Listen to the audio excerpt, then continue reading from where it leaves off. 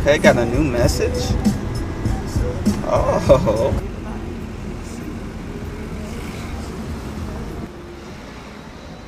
Oh.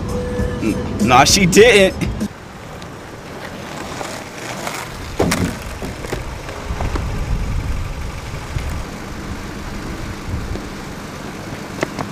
You okay? What do you think? I just got hit by your car. Sorry about that. I was um texting. What are you doing? You shouldn't be texting while you're driving. Sorry about that. You're right. Man, my dad's a lawyer.